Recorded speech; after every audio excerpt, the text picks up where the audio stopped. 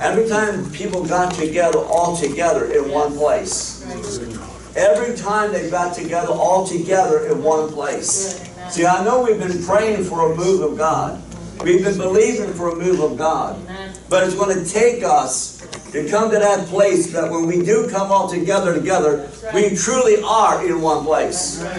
I'm not bringing in my doctrine, not bringing in my theology. I'm just coming and let the Holy Spirit be spontaneous in my life. And you're going to see some powerful things. It took them 50 days in the book of Acts. 50 days to get it together. But when they got it together, Come on. and when they got it together, the whole entire city was shaken.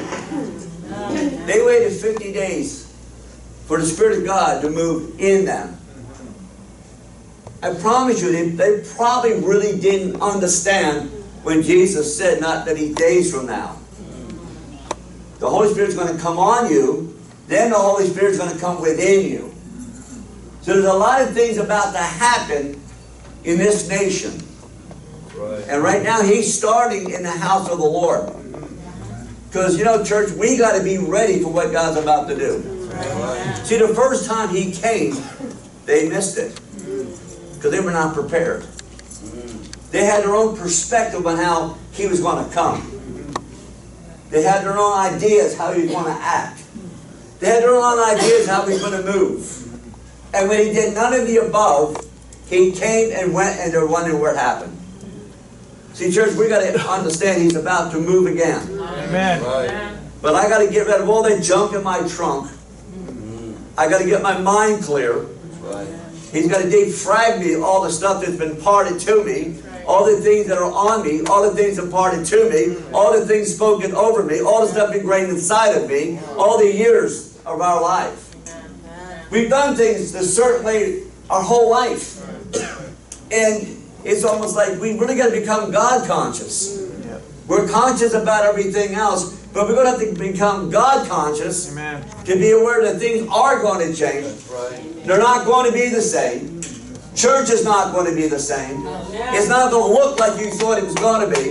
The revival's not going to look like you thought it was going to be. The move of God's not going to look like Come you on. thought it would be. So you're going to have to be ready to live in the spirit of spontaneity. You're going to have to learn to trust the Holy Ghost and come together as a body. Amen. Yeah, we want a move of God. We all want it. But I know the Holy Spirit is not going to move in a church when everybody's on a different page. He's not going to bless you in your mess. So he's got to clean up the mess to bless you. So he's really going to start working in us that when we do come together Wednesday night, when we come together Thursday morning, when we come together Sunday, come in with an expectancy. Come in not knowing what God's going to do and know that things are going to get different. But it's going to be okay. Having God can, can take care of it. Who knows what that's going to look like? I'm telling you, and even in this last couple of weeks, I've seen a move of God that completely blew me out of the water. I saw actually it started in started in Florida. I went to a Slavic church, a Russian church. They invited me on Pentecost Sunday. They said, You're going to teach us about Pentecost. I was thinking to myself, how you teach people about Pentecost? How do you impart something like that to them? So I said, Lord, you know, that's going to be difficult. So the Slavic pastor, I never met these people before. They don't know me, I don't know them. So we already got a problem, okay? so this this you big Slavic pastor comes up. He says, I don't know you. You don't know me. You don't preach the word, there's the door. Oh. I said, oh, okay. I'm ready to leave right now, you know? I can see it now. You Slavic church Russians take over. but you know what's cool about our God? They came open. They were willing to let God move. Yes, they did not understand it. They did not know what God was going to do. They didn't know what that white crazy man was going to do. But you know, they were willing. If I could see anything when I walked in, I could sense they were willing to learn. And I said, Lord, I, I want them to have such an encounter that no teaching in the world will ever exceed an encounter. So I, I, there's must about 50 young kids. And I said, Lord, we need a move in here. They don't they need a Pentecostal visitation. They read the word like we read the word, but we've not encountered the word or become one with the word. They need experiential reality. Church, we need an experiential reality of what God's about to do. We need a move of God that's going to be so powerful in here. I was just I was over the past in the office tonight. I was at a church locally here. We had a move of God so powerful, people couldn't speak. People could not speak because the power of God was so powerful in this church near here that all they could do was weep. Grown men on the floor weeping. The pastor loves to talk. He got up to the podium and just started crying, hold on, shaking. Then he said, he's gone. They had a move of God. They had a move of God. See, too, God's going to invade the church, too. We're going to be on Holy Ghost invasion. Because He wants you to have a move. And in spite of us, He's been choosing to manifest His glory in the house of the Lord. And it took, become so tangible. That night in Florida, it was so tangible with the Russians. 50 kids come running up to the front.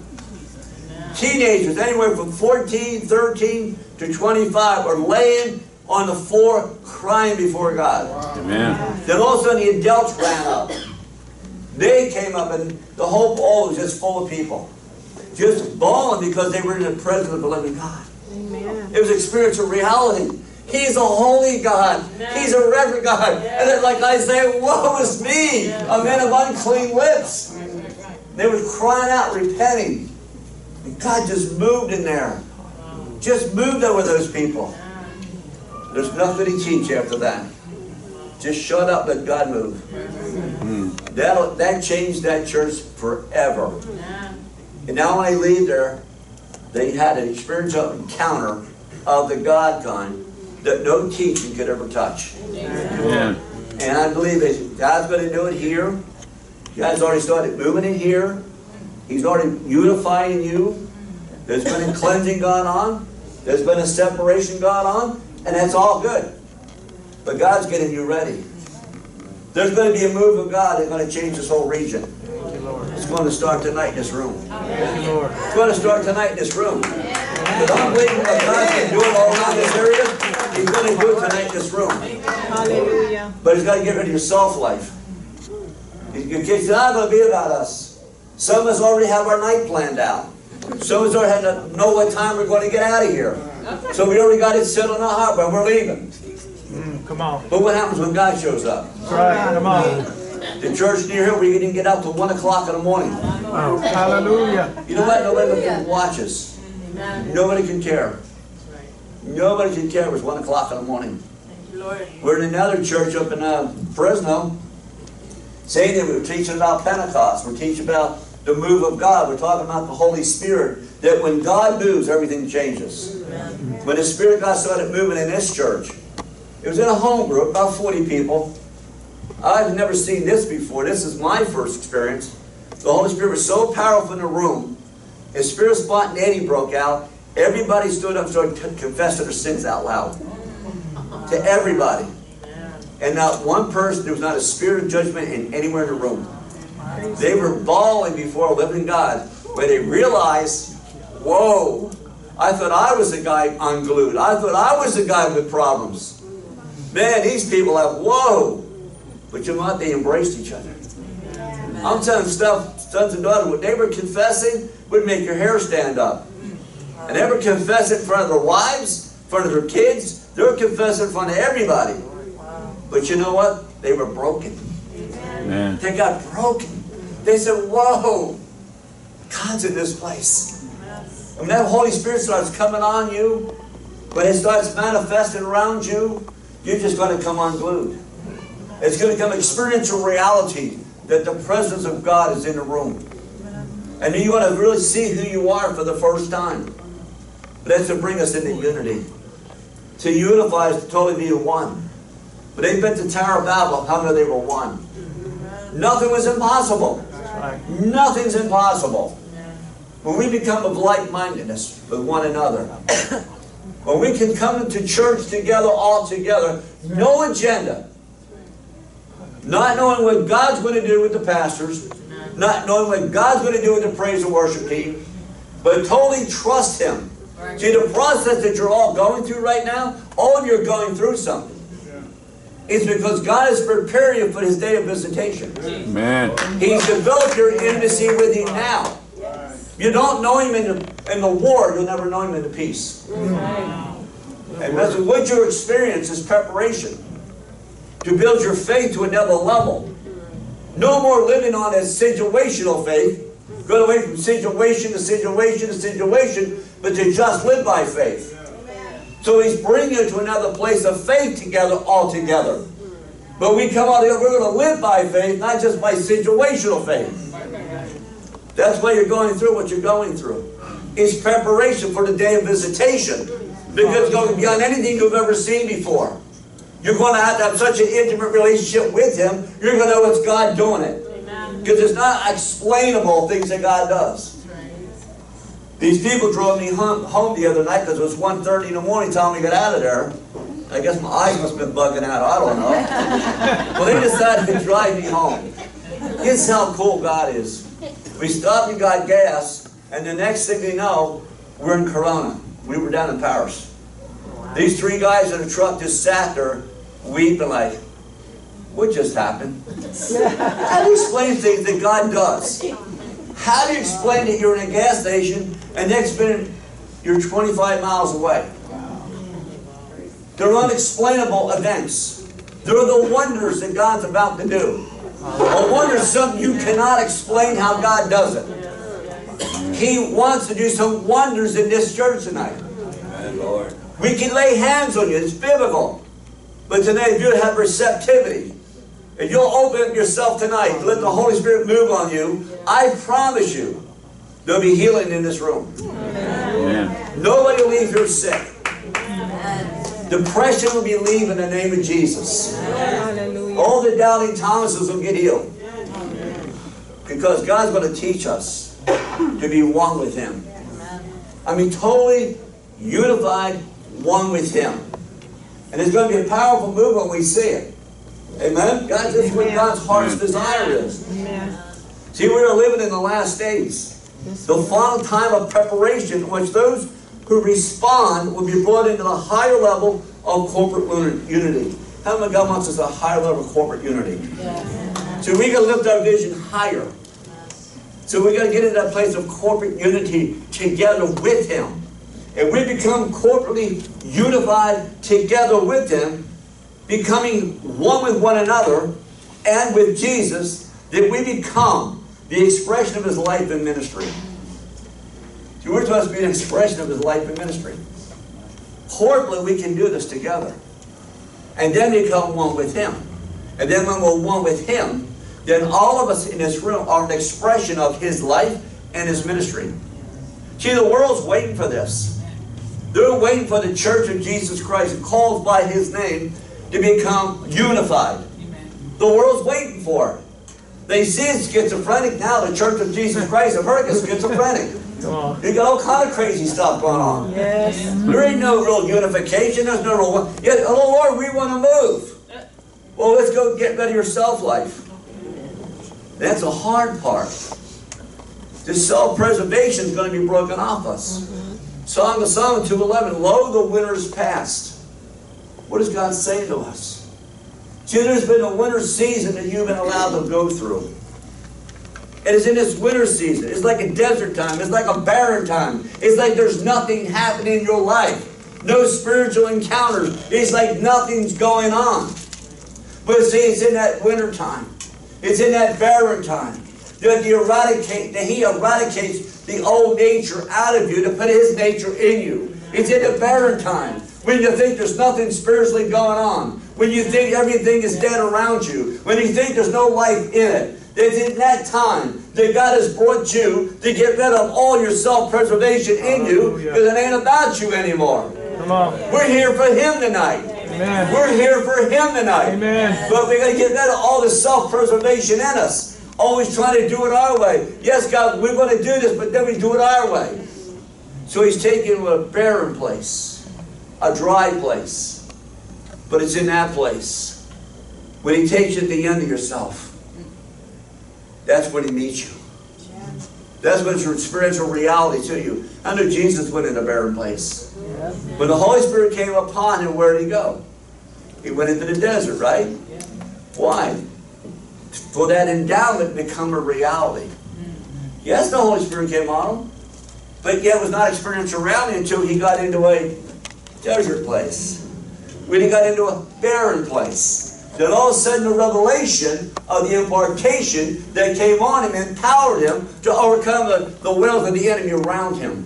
Instead he came out with power, but he had to go in that place. So you've been in that place. The church has been in that place. We're coming out. But we're not coming out barren. We're coming out a new creation. Yes. Thank you, Lord. We're coming out with spiritual encounters of the God God is going to change the marketplace. We're coming out with power to prevail. It's in Isaiah 6 7 or 6 9, but don't worry about where it's in Isaiah 6. Maybe it's probably 6 7. When it says this, the government was upon his shoulder. Remember reading that? Did you ever ask the Lord what that meant when this government was upon his shoulders? What God is saying, the mantle of the kingdom of our God was rested on him. Now here's the interesting part. That word government is Mesra. The word Mesra means power to prevail, to dominate. So the mantle of the king of our God rested on him, and as we went to Calvary, he rested it on you. The mantle was on him, is the mantle on you, power to prevail and to dominate, to overtake and run down the Babylonian system that's been binding you, even in the church. You got power to prevail. The word is in you. And God wants to get it inside. I want you all to understand it. So you're all on the same page. That we're all together together on what God's about to do. The same spirit that came on is the same spirit on you. He's unifying us to be one voice, one mind, one heart, one spirit. That we come all together together, we're going to have an encounter. We're going to see a book of Acts again. Like we've never seen it. Because it's not going to be the same. Psalm Psalm 211, the next person says, The rain has come and gone, it is no more. What are you telling us, Lord? We're not living on former revivals. Come on. We're not living on the former outpourings. We're not going to live on somebody else's spiritual encounters. We're not going to live on somebody else's spiritual revelation. God said the rain has come and gone, it is no more. We're not living in the former things. I'm a God of this present moment, and I'm doing something new, extraordinary inside of all of you. I am freeing you from the indoctrination of man, from the religion of man, and all the programs and all the things that have bound you all these many years that I had need of you, and now I'm freeing you. I gave you power to prevail. And the root word for Mesra is Sarah. Sarah had the power to prevail. She was able to birth beyond season. She was able to bring light to a dream and vision given because she had power to prevail. And you have it in you. And God's going to bring life back to your dreams. Hallelujah. God's going to bring life back to your visions. God's going to bring life back into his house. Hallelujah. We're going to birth something extraordinary in this generation. Some we've never seen before. Some we've never witnessed before. You're going to look like you're radical. Praise God. The how you got radical. But it's now. See, it's right now. Getting to learn to become corporately together as one body. Not bringing all that junk in us. Right. You know, trying to, well, I don't like the way you preach. That's not the way I talk. Well, get over your bad self. Suck it up, you know. This is an hour the Holy Spirit's moving. And he's going to be listening, she's going to be listening, and we're going to have ears to hear what the Spirit of God is saying. It's not going to be a pat message every Sunday. It's not going to be every teaching. It's just going to be a flow of the Holy Ghost. We're going to come in here, bam, God's going to heal. They're going to flow. The fire's going to come. The fresh oil, the fresh anointing, the authority of the Lord Jesus Christ is going to rise up in here. It's going to jack you up. It's going to lift you up. It's going to tear you up. It's going to set you free do all that God called you to do. And you will be the church of Jesus Christ. And you will have an outpouring the world's never seen. And it won't somebody else's spiritual encounter, somebody else's spiritual revelation. But I can get into a lot more. I'm not. There's a, that'll open my whole box right there. There's so much I want to dump on you tonight. I just got to listen to the Holy Spirit. I want to because there's so much He wants to give you to free you from all the bondage that you've been in, all the fashion and form of man that's put on you. He wants to unify us where we are really truly one spirit. We're really one heart. When He has a need, I have a need. The book of Acts, man, they were all together. When someone had a need, brother, they had all things in common. Everybody gave up everything. Right. There was no selfishness, no self-preservation. Brother, when they got all together together, they were together. There was no needs. Imagine that. 3,000 got saved in one day. I'm going to get down to real. I'm going to make this real to you. Let's get real. 3,000 people got saved in one day. Where did he get all the toilet paper? Think about that, man. I know we need a move of God. Things are about to shift. So we got to be ready, man. 3,000 was saved in one day. Think about that. You know what the creation, yeah, you know what that created? I knew we had to be unified. Now we're living all together together. And once you left that Jewish religion, you're an outcast. You couldn't go to market no more. You were done. I knew you got to be unified.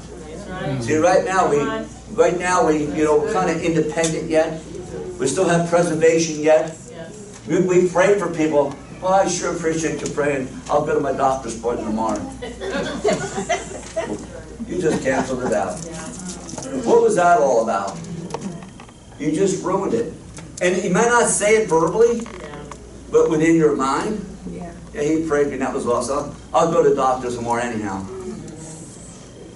Then what's the sense of getting prayed for? That's right. Either he healed you or he didn't. That's right. Some miracles are instantly, some are process. And you have to be willing to go through the process. It's training for reigning. It's to build your faith. Some people, you heal them right away. Then their faith is in that just a miracle. But they got to go through the process. Something happens, brother. A development of intimacy between the king and you by going through. Develop such an intimacy in you, such a strength inside you. Such encouraging words will fill you, knowing that the Father has heard you, and He's allowed you to go through what you're going through to build you for the greater that He promised for dreams that have been in you, but now become alive inside of you with the power to prevail for the nation around you. It's right now. And we got power to prevail. Amen. See, we're going to pull down the Babylonian system. So that mantle that came on Jesus, the kingdom of our God, it came upon him. He said it rested, the government's on what? His shoulders. So it's a mantle. Didn't say around his waist, didn't say on his brain, didn't say in his hands. But the governor of the kingdom, that authority rested on him. Hallelujah. The Hebrew word is Mezrah. And the Hebrew word for Sarah, they're one. Sarah had the power to prevail against all odds. But she had to birth it. There's a succession of line of Isaac to come through. She had power to prevail when dreams and visions and everything eluded her 99 years old. I'm going to get pregnant, really? Mm. I don't think so. Come on, well, let's get real, you know, 99, you want to have a kid? You have to have your head checked, you know? But she, she was given a word. She don't allow dispensation of time imprison her or stop the dream that was given. She knew she had power to prevail. Hmm. The root word for her name, Sarah, is Mezrah. She understood it. She got that battle on her. When everybody was laughing at her, she prevailed. They might be laughing at you, daughter, in the back, but you're going to prevail. Amen. The authority is in you. The word's inside you.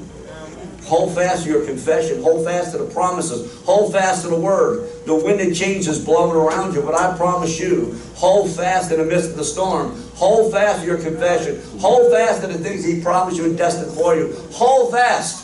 You got, you're just like Sarah. You're about to break loose. You're about to birth. You're about to release. You're about to launch. You know, everything around you is about to be broken off of you. God said, I'm going to free you. And that chains that bind you are coming off of you. There's a freedom coming over you. There's healing happening inside of you. I'm breaking that depression off of you. And everything the devil trying to put on you, I'm freeing you right now. He just grab it, receive it, accept it. Amen.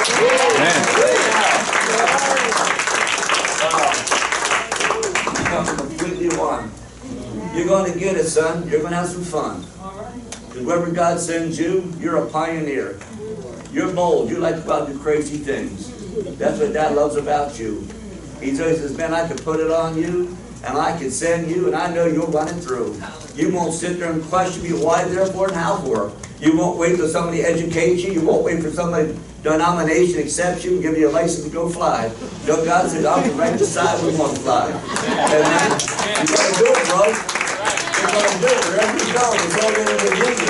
Was birthed in you when your mother conceived you. Because God ordained it for you. For the hour He empowers you. Don't worry about the generation around you. The words of life are in you. My word will sustain you. Direction's coming to you. And a boldness is going to rise up in you. Hesitation, reservations coming off you.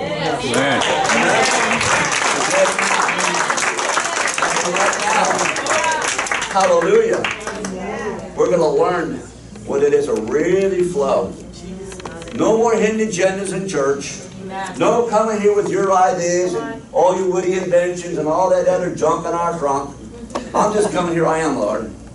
Here I am, just as I am, Lord, use me. I have no agenda. I have no program. I got no. So a lot of people come with agendas. They're, anybody in church with agenda is dangerous. Because they're still living in self-preservation. It's all about them. But that's got to be broken off us. See, that's what got Adam and Eve in trouble. They became independent. See, we're raised in a generation to be independent. We're raised in a generation to be self-sufficient. And it's ingrained in us. And soon something happens, what do we do? We try to fix it. We try to fix it. We try to get it right away. What if you get to the place you just sit back and say, okay, God, this is on you. Well, that's scary. Because your whole life you had to fix it. Your whole life you had to mend it. Your whole life you had to do something. A- And, now all of a sudden God said, I got this. Do I trust Him? See, self-preservation has to go. All right, we got to lose our identity. I believe it's in Luke 9, you can correct me later. Luke 9, Jesus ordained them, He appointed them, then He sent them, and then He said some things to them that brought them. First thing He said, take no staff with you. See, staff was their identity. That was their status symbol. That's how they were identified. It was their weapon. It was everything they were.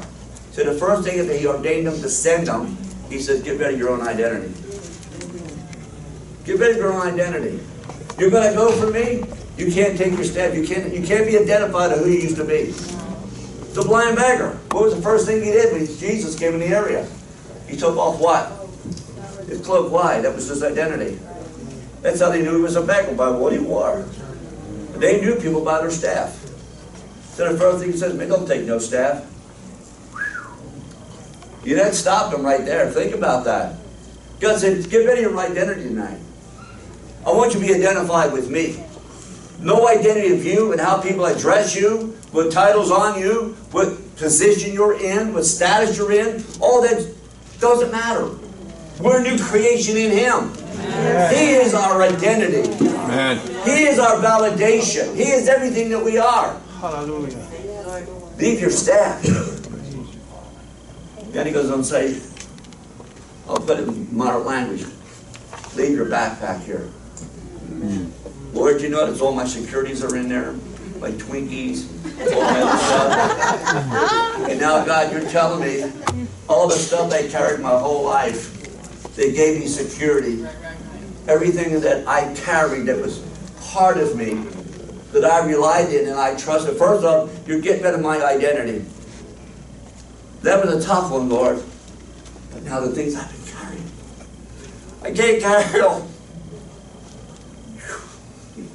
He took it off. Their backpacks. So they just stop coming off of you. There's stuff you've been carrying. Stuff that you relied in. Stuff that you trusted in. Stuff that you believed in. And God said, I'm taking it off your back tonight. Amen. And He's really messing with you. You've got a new identity, church. It's going to become a reality. You've got a new identity in Him. We take on His identity. That's what makes us one. Yes. We get rid of all that junk that we've been carrying. We get rid of all of that. You know, He can't just leave things alone. He said, take no bread. God, we're in the desert. huh? you know, God, we're in the desert, God. Well, how could we forget about the feeding of 5,000, the 4,000, and all of a sudden he gets rid of your identity. He gets rid of all your things that your security identified, makes you comfortable, you, all that stuff that with you. And then he said, I'm going to put you in a place. I will be the sole provision for you. Oh, there's no other place there's provision for you. I'll be the only source of provision for you. That's a new level of trust. How do he's taken us there. And it goes on and on. Then says, don't take any water. Man, you imagine that in a desert? But see, God wants us to get to such a place that everything we relied in and trusted has to go. We're going to have a move of God, church. But there can't be anything else in it. Because we'll want to touch it. You don't want to touch His glory. So I'll share my glory with nobody. So we're going, we're going that this is what this is all about. This is preparation. He is coming again. Right. But we need to be prepared. And He may not come the way we think. It may not look the way we think. But I'll tell you one thing, when we become totally unified, that's His heart cry. That's His heart cry. Going to to you in John tonight. You're going to understand this, man of God. For such a time as this, there's a set time, there's an appointed time under heaven for everything. He said, son, I'm aligning you with your set time. I'm aligning you with the appointed time they appointed for you. He said, son, everything's going to be new from this night forward. I promise you. There'll be no trapping of your mind. There'll be nothing to weary you, to stress you. But son, in a quiet place, I will meet with you. I will validate you. I will assure you. You're my son in whom I'm well pleased. He said, son, I'm going to birth new dreams inside of you. Son, you're going to have power to prevail. You're going to birth dreams and visions, things you hoped for, things you were crying for, things you were believing for, and somebody stole them from you. And God said, no more. He said, it's done, son. I'm going to restore everything that's been stolen from you. I'm going to redeem the time for you. And they're going to know that you and I are one. You'll be in His likeness image. When they see in the marketplace, they're going to see a transformed man into His life, into His image. An expression of His life and ministry. We'll, we'll be an expression of His life and ministry. When they see us, we'll be as He is. Can you imagine what we'll be like in here? No agenda. Well, can you imagine that? No more clocks in church. Think about that. I'll really step on your toes. I know God's about 10%. So you think, just take this round. If God's about 10%, and we have 24 hours in a day, that means 2 hours and 40 minutes belong to God every day. Are you giving Him 2 hours and 40 minutes? If not, you're robbing God. So when you come to church, if you didn't give him anything all week, you better give it to tonight. you got a deficit going there. You must, you must make it up. It's hard tonight. But I'll stay till the cows come home. Amen. That's just something I just thought I'd throw out to mess with you. 24 hours, 10% belongs to him. It's 2 hours and 40 minutes. The only you can answer, you give him that much time every day. And everybody's starting to think and analyzing. Well, don't they know my busy life? Don't they know I do this? Don't they know I do that? And God says, really? Is that more important than my time with you? I'm trying to unify you. I want you to have my heart, my mind, my spirit. And all I ask out of you is to be a good steward. If I cannot trust you to be a good steward and to manage two hours and 40 minutes a day, what's going to happen the rest of the day? He said, you're going to lose it. You couldn't even manage this much. I gave you this much. I've only wanted this much. And you couldn't manage it? You're not a good steward? You, you, you couldn't handle 40, 2 hours and 40 minutes? Can I trust you with more? If 2 hours and 40 minutes trips you? Just think about that. We're to be honorable people of God and good stewards of all that He gave us. And all He asks out of 24 hours is just 2 hours and 40 minutes. And I can take it even further mess with you. God wants to mess with people here tonight. Just think about tithing. He gives you 90% to play with. He gives you 10%. See, it's not about, tithing is not about money. Tithing is to teach you to be a good steward. I gave you 10%. That's all I'm asking you. Give me 10%. I want to see how well you can manage the 10. Are you a good steward? Or can you manage the 10%? Can you steward the 10%? Can I trust you as a manager of my finances on earth with 10%?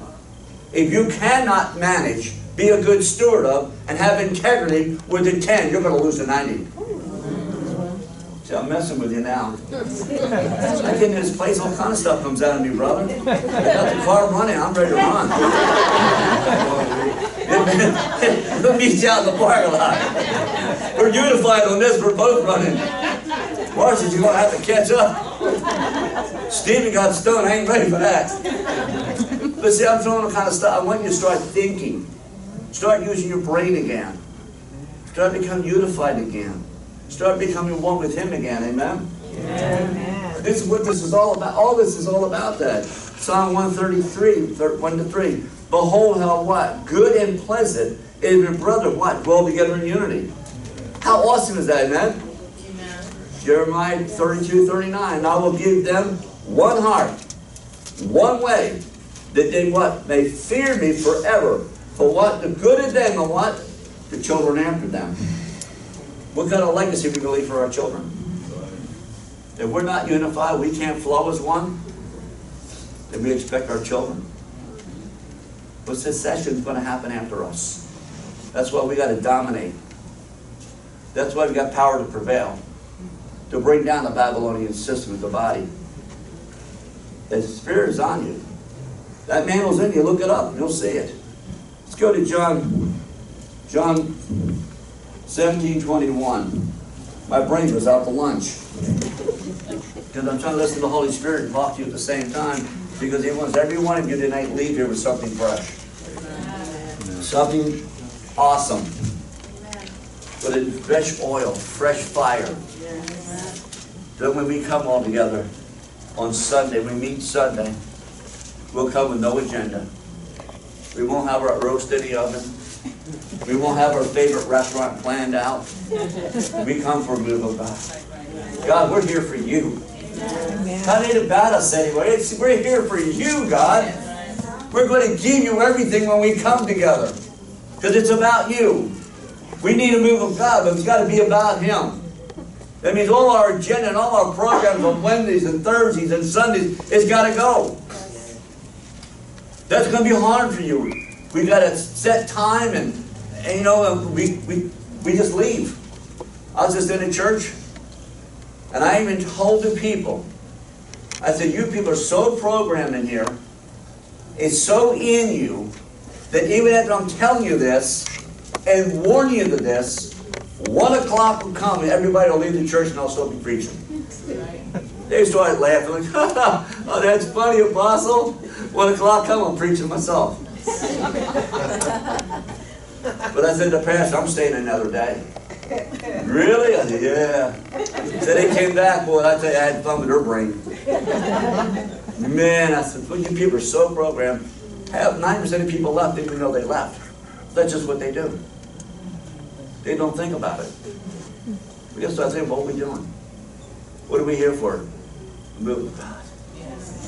To honor Him. Amen. No pressure on time. We're not bound by time. We don't serve time. Amen? Amen. Paul said it's time to redeem time. Well, what does that mean if you got to redeem something? It's in a fallen state. Think about that.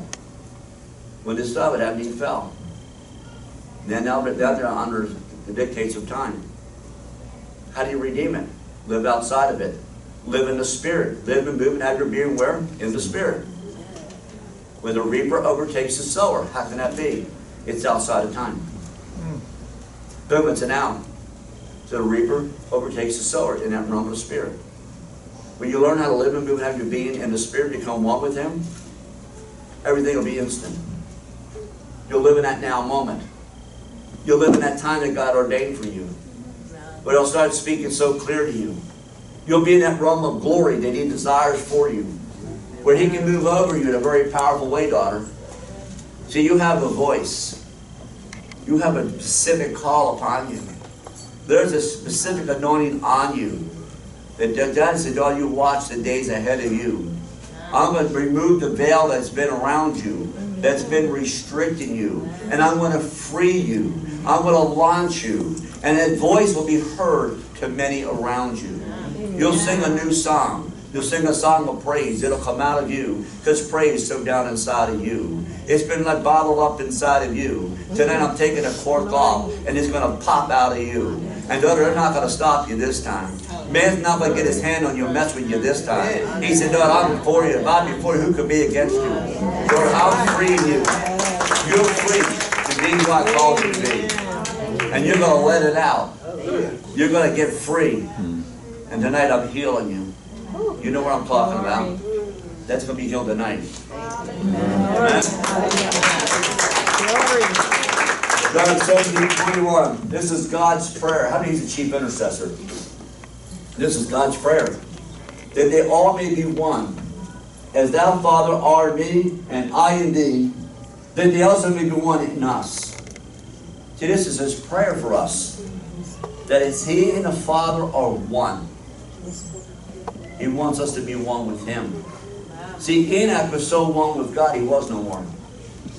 He had no more self-life. It was all gone. He just became so much like God he was as God. Because he came one with God. See, that's his desires. That we be as him. As he was one with the Father and Father one with him, his heart desires that we become one with him as he is one with the Father. To imagine becoming one with him. Wow. That the world may believe that thou hast sent me. How's the world going to know that he was sent? When we become one. In him, through him, by him, one with the Father. Disciples of Jesus show us the Father. When you see me, you've seen the Father. See, you're supposed to be an expression of him. When people have an encounter with you, they should have met Jesus. You're an expression of his life. You are an expression of his ministry. You should be so one with him that when they meet you, they've met him. This is his heart. This is how the world's going to know that you are truly one with the Father and one with the Son and are one with you. You're completely one together that the world may believe you have sent me. Here's a cool part. And the glory which thou givest me, I have given to them. Think about this a moment. The glory you have given me, I have given them. So when I see Pastor, I don't see him. I see the glory. I don't see him. When I see you, I just see the glory. When I see you, I see the glory. When I see you, I see the glory. What am I getting across to you? I can't judge you. I become one with you. See, don't you, you recognize the glory. When we see each other, we see the glory. We don't see the former things. We see the glory. And the glory is all over you. Tonight, the peace of God's going to fill you. Tonight, the Lord said, I'm rejuvenating you. This tiredness has been plaguing you. No more limitations tonight. I'm healing you. I am the great I am. I am in the midst of you. In a secret place, I have heard you. When you thought you were all alone and crying out, I was there right beside you. And I cried with you. And I promise you tonight, this night, I will answer you. I've been maturing you and preparing you for what I'm about to do for you that you desire me to do for you. I had to rearrange everything around you, bring order to all the affairs concern you. I had to bring down some things to bring up some things. And now, my daughter, you're free. Amen. See, we can't, we can't judge each other. We can't judge each other no more. The same glory, Lord, you gave me. Same glory is on him. When I see him, I just see the glory. Still look at each other and start seeing the glory. Can you imagine what that'll do? Judgmental spirit will leave the house of the Lord. You won't be out there judging anyone. I'm about you. I don't qualify to judge. I can't sit in that seat. But when I see my brother, I see my father's eyes. I see the glory. I see the peace of God that passes all understanding. I see the revelation birthed in you. The understanding rising up inside of you.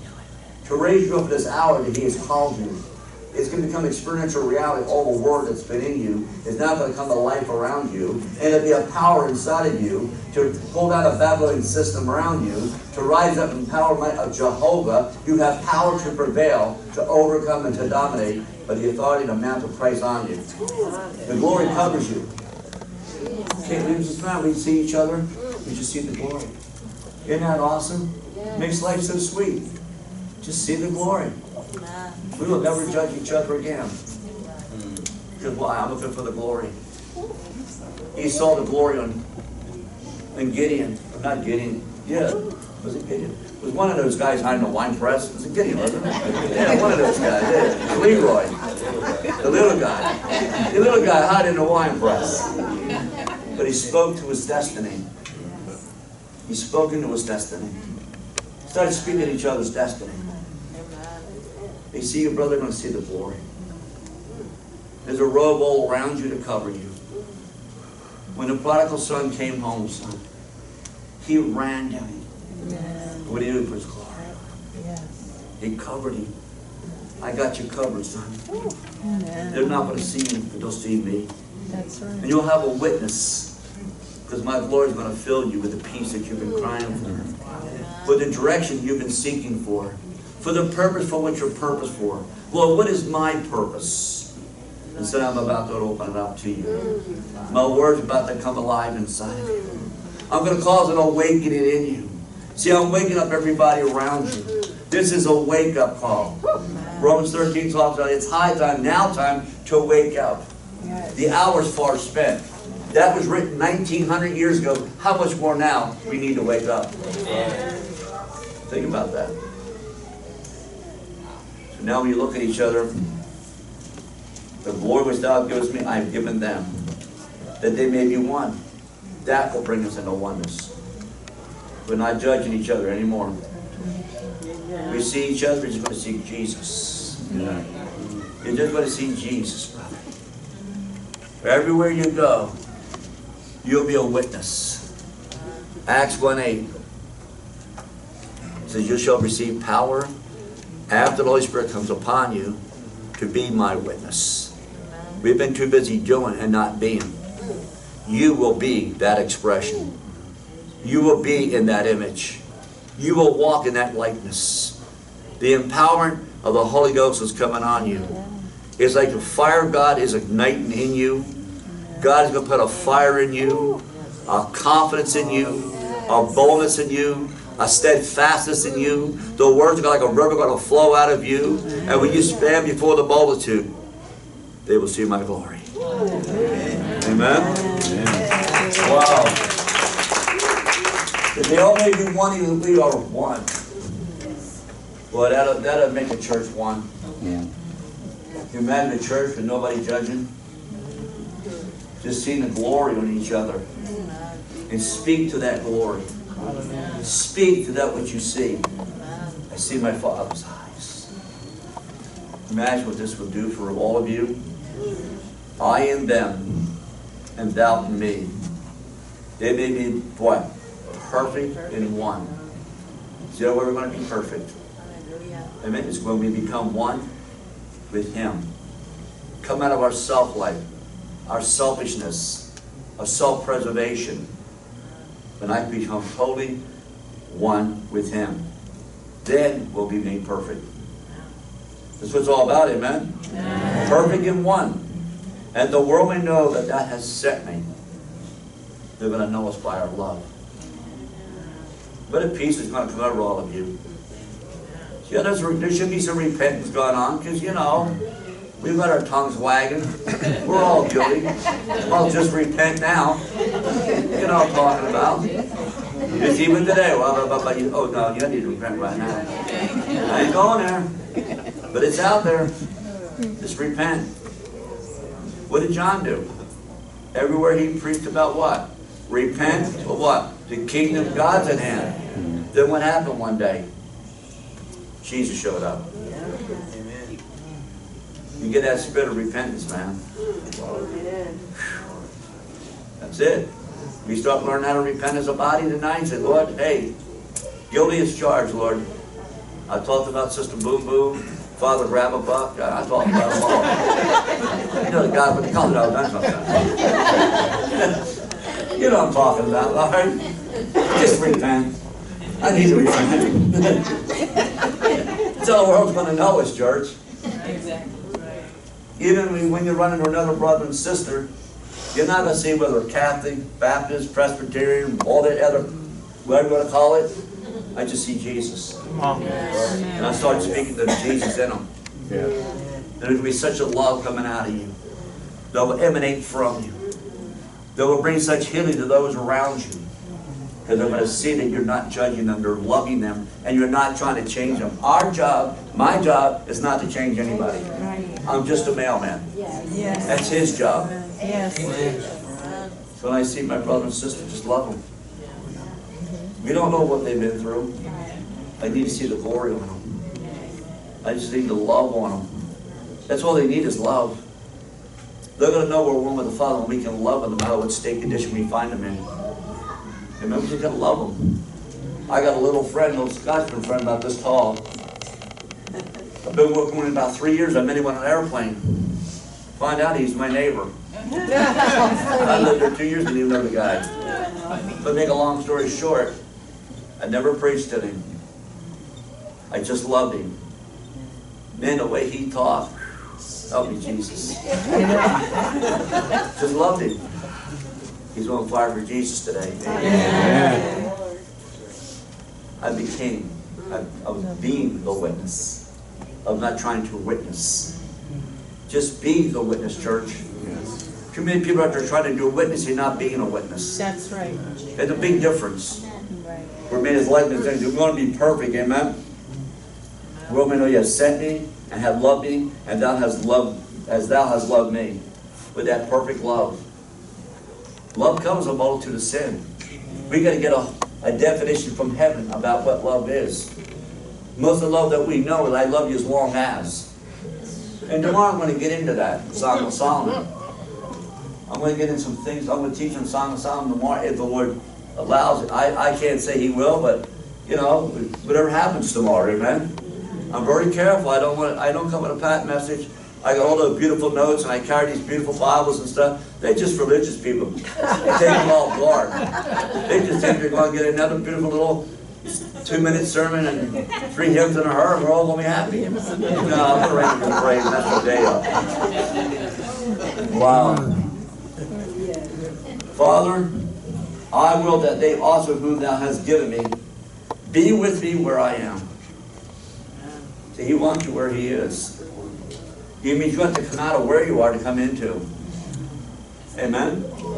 It's by the way of the cross. What happens at the cross? Your self-life gets crucified. Too many times we're talking about the cross, but never getting on the cross and dying to the cross, then come follow him. Father, I will they also whom Thou have given me be with me where I am. This is his cry. This is why he went to Calvary, so you could be where he is. He wants you with him. He Wants you to be one with him. That where I am, they may, that where I am, that they may behold my glory. See, if you walk with him, become one with him, you'll walk in that glory. You'll be looking for the glory in everybody. How can I bless them? Even the heathen around you. Just love on them. And I've seen some pretty bad dudes out there. in some pretty bad places. And when you start really loving somebody, I don't care how tough they are, how mean they are. I've been with gangbangers, street, you name it. But you'll walk up, you start loving them. Dude, what do you put your hand on me for? Man, get, your- man, get your hand off me. What's that, what's that on you, man? Something just touched me. Man, what's wrong, man? What's wrong with you, boy? Next you know, they start crying. What, what, what happened? Hallelujah. That love, Hallelujah. that touch of the Father. Uh, and that the moment of that tough guy, he breaks in the presence of a living God. See, there's such an anointing coming over the church of Jesus Christ. It's going to be like an atomic bomb. That when it goes off, it infuses everything around it. We're going to be so saturated with God's love that everywhere we go, we're going to impart that love. But the other side of it also, we're going to bring holy conviction. They'll all be so broken they get into your presence. They're going to feel this love that they don't understand. This love is saturating them. And all of a sudden, they're going to be this repentance because they're, they can feel the glory. They feel the holy conviction. See, conviction heals. And you're going to start seeing this conviction. The last three or four meetings was a lot of Holy Ghost conviction. There was a lot of repentance going on. And all of a sudden, heaven opened up. And then it was a great manifestation. Supersede any teaching. We need experiential reality. We need a move of God. Amen. Wow. Well, thank you, Lord. To be with where I am, that may behold my glory which thou hast given me, for thou lovest me before the foundation of the world. O righteous Father, the world have not known thee, but I have known thee. And these have known that thou hast sent me. See, the world's going to know that you've been sent. When you start walking in this. This is what God's saying the power of one's all about. That's the power of one. We can change the world. The book of Acts changed the whole entire city. Whenever they became one, things happened. When people become unified and see the glory, when we come in, we just see the glory of one another. We don't know what their brother sister's been through. Just see the glory and start loving on them. Start ministering to them out of the glory. I mean, there's no self-preservation, there's no life of us. There's no more staff, there's no more identity. Your backpack is gone. Your supernatural vision's coming through. He's Jehovah, He can provide for you. Hallelujah. Even in a desert place, there's provisions for you. Even in a dry place, there's provisions for you. We're not living in a form of movements. We're not living in a form of revelation. God's speaking some fresh stuff now. Then he goes on and says in Psalm Solomon 2, the flowers are in bloom. Sons and daughters, we're entered into a springtime of the year. A spiritual awakening that's been promised. It's starting to bloom. Jeremiah, what do you see in 110? I see the blossom of an banana tree. Jeremiah, you see well. You saw the beginning of a spiritual outpouring. We're about to see the birthing, the springtime of the year, when new life is about to come to the church. Hallelujah. It's going to be radical. Then he goes on to say the birds are singing. There's a new song of praise coming through the earth. Psalm Revelation says this, the voice of many waters. It's that song of praise out of heaven, where angels in harmony with you are singing about his glory. That's a new praise coming through the earth. It'll be a sound of many waters. Then he goes on to say, the voice of the turtle dove can be heard in the earth. There's a new prophetic anointing, an apostolic anointing coming on the end time prophets.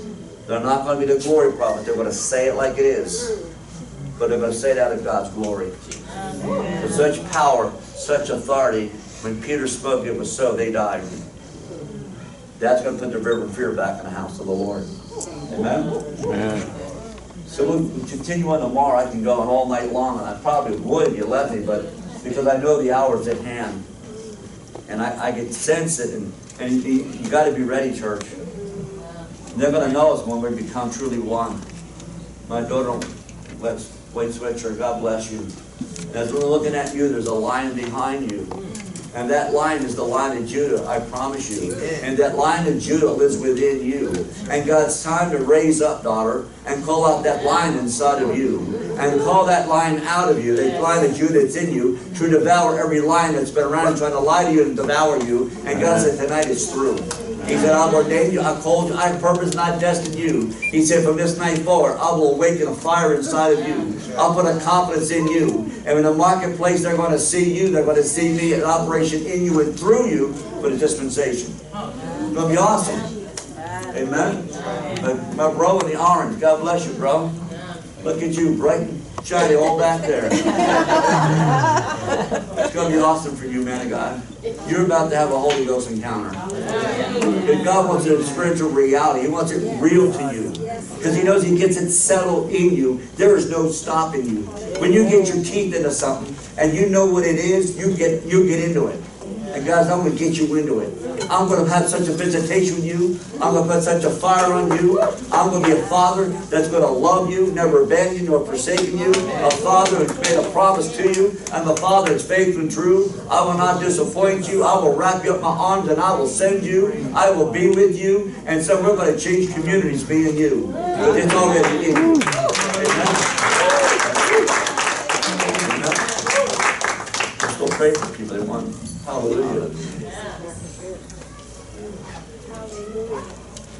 Dump some more come on. I'll stay all night, bro. Don't get me started. I can call it. Amen. You know, when Jesus came and he found his disciples asleep, and he told them, Could you not stay awake one hour and pray? Amen. When the ten virgins came, five came with oil, the other ones didn't. And five were came five came in and the other were ones were left out because they were not ready. But today I believe that we heard we heard a word from the Lord Amen. that we better get ready. That we better get ready. No, seriously, people, we need to be ready and stay ready because we never know when the Lord's going to show up. But I appreciate that word that came forth, Amen. Apostle Bill, a timely word. Well, especially for this church. I can only speak for this church. Amen. And I want to thank you again for, for coming and imparting that word to each and every one of us and to those people who received the word. And Brother Bill will be praying for people. If you need prayer after, we pick- we're going to pick up an offering for Brother Bill this- tonight. Amen? Amen. So if you guys want to get ready, just give from your heart and not your wallets.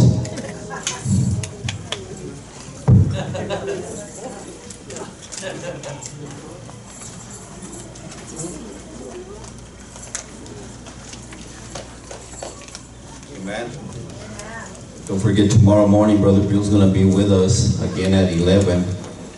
Pastor Marcia at the well.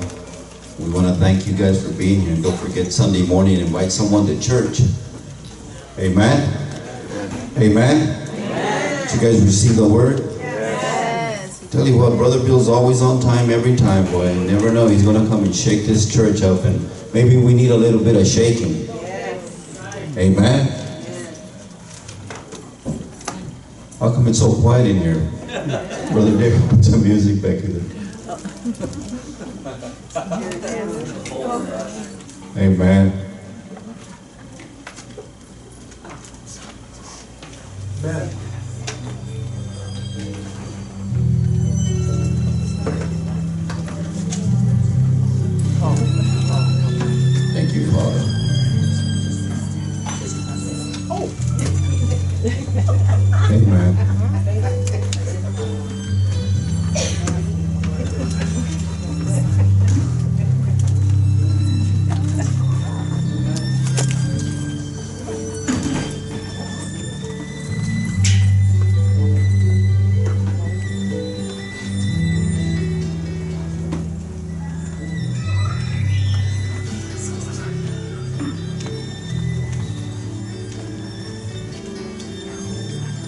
Why stand? If anyone needs prayer, special prayer, Brother Bill's going to be here at the altar with us. Amen. Let me pray over the altar. Heavenly Father, we thank you for this gift, Father. We thank you for this offering. We thank you for the seed, Father. And we thank you for the sower, Father. I pray, Father God, in the name of Jesus, that you would return the seed back to the sower, Father, and cause the seed to multiply over and above, Father. I thank you, Father God, for what you're doing, Father God, Apostle Bill, Father. I pray, Lord Father God, in the name of Jesus, Lord Father God, that your hand would be upon him, Father God. As he travels to the highways and byways, Father God, wherever you take him, Father. I pray that you would always send angels before him, Father God, in the name of Jesus. To prepare people's hearts, souls, and minds, Father God, in the name of Jesus, Lord Father. And that you would return him back to his family, Lord Father God, sound and safe, Father. In Jesus' name, Lord. Amen.